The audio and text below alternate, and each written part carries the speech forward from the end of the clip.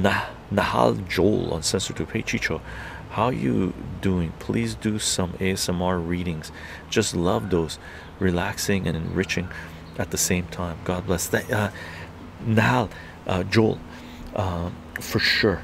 I just got to get the timing right because where I do the readings is right beside where they're doing construction of a house that uh, they're totally gutting and rebuilding. Thank you very much for the tier one sub. Uh, uh, why is Kanye West hilarious?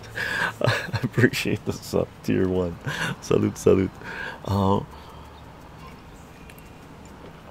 but as soon as I get my rhythm, I was been really busy with family for like eight months now. So, uh, but I I I got comic books I've set up to read. Uh, there are other things I want to read. There are cards we want to do readings. I love the reading streams, really.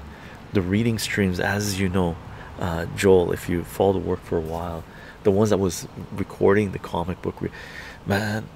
Someone asked me earlier, what's some of the happiest moments in your life, or what's one of the happiest moments? Making those comic book readings, editing them, and getting those videos out amazing feeling once you press live on those on those comic book readings that I did man what a feeling. I would make myself laugh giggle. I would I would watch the artwork of the comic books and just all of a sudden I would notice like one thing people need to appreciate when I was making those comic book videos where I was editing them right? Even now when i do the comic book readings right when i look at the videos again i see stuff in the comic book that i missed when i was reading it right? And that just amplifies the joys of comics. Like it's amazing. Some of the stuff in comic books is just mind-boggling.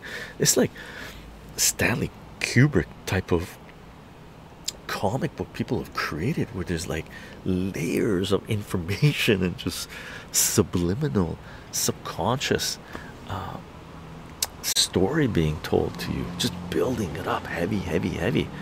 Brilliant. Brilliant